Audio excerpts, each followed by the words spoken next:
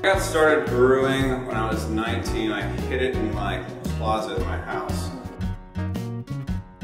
I'm brand new. I came out of DC. I got hired in August. It's about three months I've been here. Coming up with the recipes is definitely a team effort. Although I am the head brewer down at this location, uh, we have a brewery team and we all kind of write the recipes together. For instance, we're coming out with a brand new IPA that we've never brewed before next week.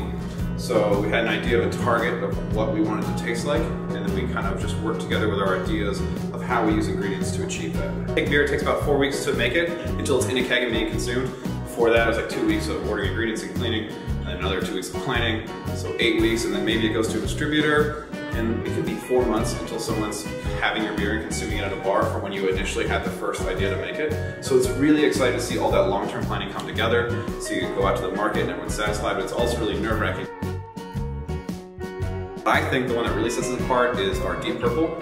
We take uh, Concord grapes from the, the, Finger Lakes and we put it into a nice uh, Pilsner base. My personal favorite beer that we are currently brewing was gonna have to be our Sasquatch, very light, kind of citrusy, and it's, it's not really heavy, that's why I'm into it right now. We're launching a new program where we want to help uh, exhibit local artists. So if anybody was interested in exhibiting here, they can easily submit on our website. The chef and the cooks really do care about their product as much as we care about the beer. And that's the beautiful thing about Empires. We're not really trying to slack anybody. We want to push the envelope